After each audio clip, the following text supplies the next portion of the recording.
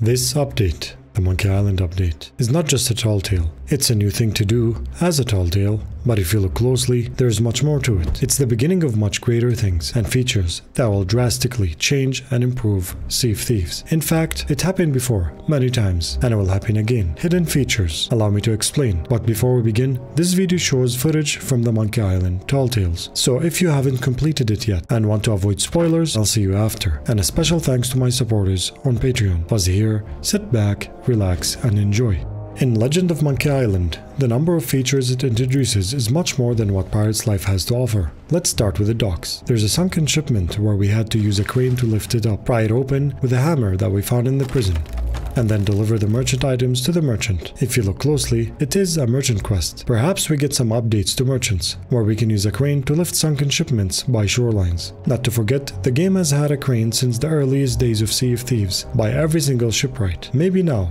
it's the time to use it. After that, we had cooking. We had to create a whole meal with a special effect for the piranha poodles. Even though cooking in Sea of Thieves is simple, this is an opportunity to bring buffs like underwater breathing or curse immunity by mixing some ingredients. Or perhaps a shark repellent, where you can swim to the nearest tuck spot without having all the Megalodon's grandchildren charging at you. Also, I know this is not in the first Monkey Island tall tale, but since it's in the trailer, we might as well mention the zip line. We have ugly, gigantic islands like the infamous Old Faithful Isle and sometimes we jump down and eat food instead of running down. Pretty sure the zipline will make its way to larger islands to make things more convenient. Just like all the ladders they added to Thieves Haven, we're always looking for ways to improve our island navigation. And I can prove this is coming. Based on the Xbox Wire article, the mechanics we've created for Legend of Monkey Island will share technology to the main sandbox. This has always been the case with Tall Tales, even back in April 2019. Traps from the Shores of Gold are now in Thieves Haven, Sailor's Bounty, and much more. Now with these features in mind, there's more technology related stuff coming. The game incorporates technology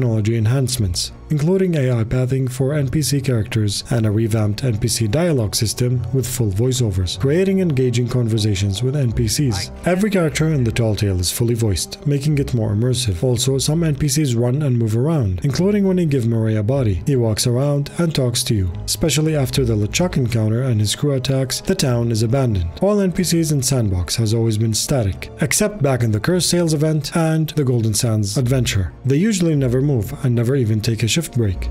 This mechanic can finally bring more life to outposts, meaning that during the night and daytimes, NPCs could change, giving us much more alive and dynamic world. Or maybe that's why sovereigns were introduced in the first place, to sell if your NPC is not a location. Maybe we can get to sell there as a non-captain ship at a lower rate. Now to go to my favorite, these fire gummies were inserted in the locks. After that, we used a fuse to ignite them and blow up the gates, freeing Otis. How nice is that? Imagine we can set traps to blow up ships from a distance. This feature here is more Sea of Thievery than anything I have seen. Just like how the trident was introduced in Pirate's Life, perhaps this will come to the real world. It is a weapon, which means this will also bring us LeChuck's crew, the skeleton ghost blue looking mobs. Since they only die from these bubbles, we won't get these bottles if they make it to the sandbox world. I honestly prefer these guys way more than phantoms. But now, for the most important question of all. We have skeleton mobs in Sea of Thieves that eventually gave us the skeleton curse. We also have phantoms that also gave us a similar Athena's blessing. We have Belle and Mysterious Stranger that gave us the legendary curse, which means, will we be getting this as a curse? Will it be the final reward after completing all three tall tales? I highly doubt it will be that soon, but I surely hope so at some point. Or maybe, just maybe, Season 10 will be launched with a third tall tale, so all these features can be updated to the adventure world. We are nearing 200,000 on the channel, so please subscribe to stay updated on everything Sea of Thieves, and if I missed any features from the Tall Tales, please let me know in the comments below. Phuzzy here, happy sailing.